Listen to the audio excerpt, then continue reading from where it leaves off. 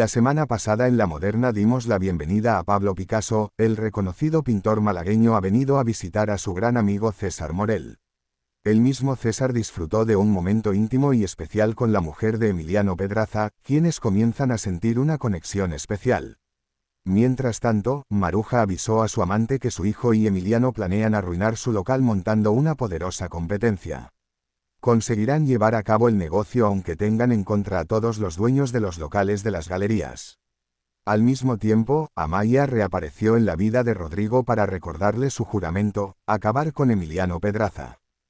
En la corrala, Martita se despidió de Antonia y Pietro. Una despedida costosa para Marta debido a la situación actual de Pietro, quien ya conoce el diagnóstico definitivo del doctor Quiroga y nos hizo llorar a lágrima viva. Por último, ¿dónde está doña Lázara? La mujer de don Fermín sigue sin aparecer y el dueño del salón de té de la moderna está cada vez más desesperado por no conocer su paradero. Aparecerá esta semana. Sigue leyendo y conoce qué sorpresas nos trae la moderna en los próximos capítulos. Rodrigo estará a punto de ser descubierto por Paula mientras busca información sobre Emiliano en su despacho. Mientras tanto, el mismo Emiliano tranquilizará a Pepita asegurando que la relación de sus hijos se acabará pronto. El hijo de los Pedraza pondrá en marcha su proyecto con las obras del local nocturno en las galerías e incumpliendo las normas que le estableció don Fermín. Y Maruja evitará a su marido para poder disfrutar de su libertad con César Morel. En el salón de té, el dueño descubrirá que su mujer no ha estado en los Pirineos. Al menos, don Fermín recibirá una buena noticia por parte de Inés, su sobrina se va a casar con Agustín. Una buena noticia para él, pero no puede evitar preocuparse por su relación con Paula. Sus caminos se separan y no podrá soportarlo.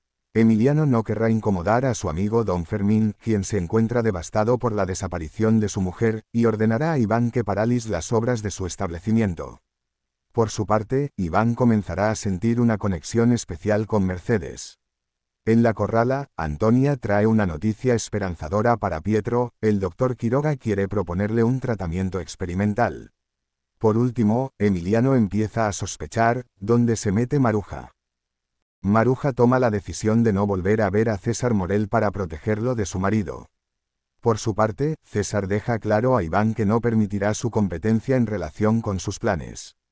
Mientras tanto, Paula recibe una gran oferta para expandir su tienda. Y don Fermín recibirá una llamada de la policía con noticias de Lázara. Por último, el tratamiento experimental que le recomienda el doctor Quiroga a Pietro podría acarrear una fatídica consecuencia. Las hermanas Balbuena informarán al personal sobre las novedades relacionadas con doña Lázara, quien ha sido encontrada desorientada y herida. Pietro necesitará tiempo para tomar una decisión acerca del tratamiento experimental.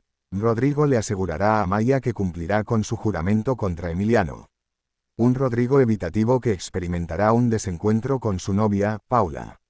Por último, Maruja deseará volver a escuchar la voz de César tras el teléfono.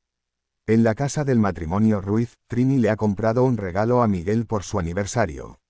Se habrá olvidado Miguel de este No te olvides de suscribirte, dejar tu like y activar la campanita en tu canal Social J. Muchas gracias por tu visita y recuerda que si quieres estar al día de todas las noticias, incluido series y telenovelas, este es tu canal Social J.